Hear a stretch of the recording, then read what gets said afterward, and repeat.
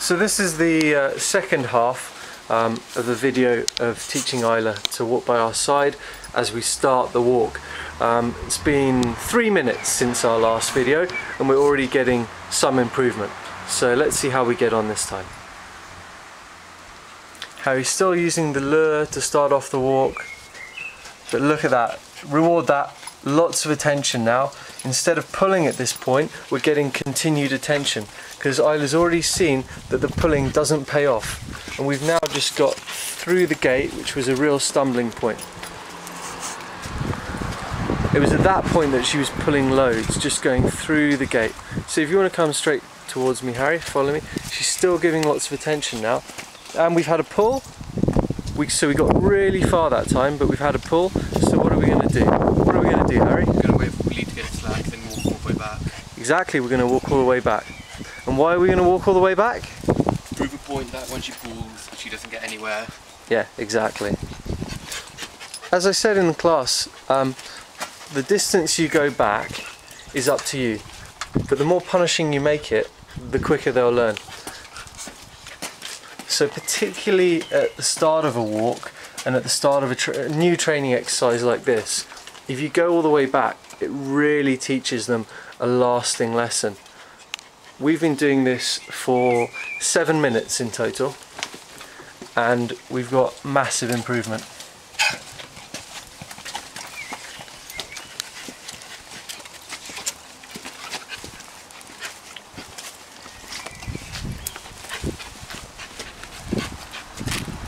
So lots of attention. We dropped a treat. It's the first one in a while. Not a problem. So we've just got past the point where we pulled. A few steps later, she pulls again. That's because we're suddenly kind of getting out onto the road where things are more interesting. So, Harry's waiting, waiting for the lead to slacken, giving Ayla a bit of time to think about it, and also giving her time to realise, okay, a slack lead is a good thing. If your dog decides to plant their feet, just keep on pulling them. At this age, it's very easy because they're quite small. At this age, they can they can quickly learn. Okay, even if I do try and plant my feet, I get pulled onwards. And so long as you're quite, you know, not harsh, but just diligent, so you just keep a keep a firm pressure and walk backwards. It's not the same as yanking.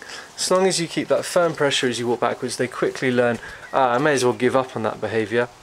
If you're a bit half-hearted in it, then they learn, okay, sometimes it's worth planting my feet.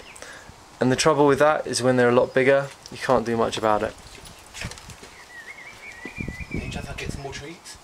Okay, so Harry's running out of treats, so we'll stop it there.